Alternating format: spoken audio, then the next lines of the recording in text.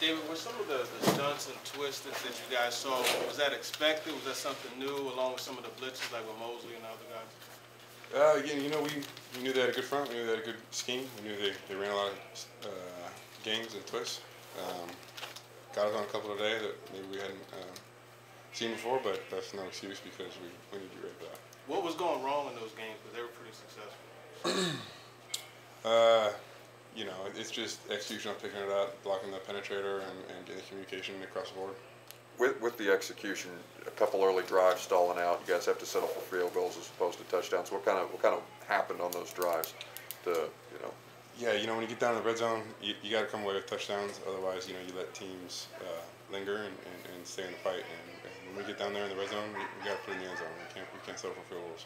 What's the dialogue with Ryan over, over the course of things about the- the pressure and the adjustments?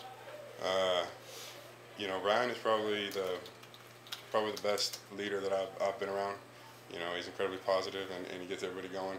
You know, if something goes wrong, he doesn't throw on it. He just looks at, uh, try to find a way to fix it, make it better, and, and move forward so we can, uh, you know, you know, win the game. Dick, what was kind of the feeling? You guys had a great drive it into regulation, put it in OT, when you get, kind of get a new life, what was kind of the feeling for you guys?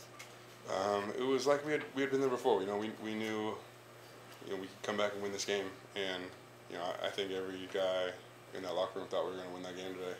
Um, uh, definitely a big a big disappointment to come away with a loss there. We thought we were going to go in there and score, take it to overtime, and then put it in the end zone and win the, win the game. David, when you guys have several bodies out, and you- you're just trying to fight together offensively, the offensive line has carried this team so often. To not be able to do that today, how disappointing is that for you guys up front?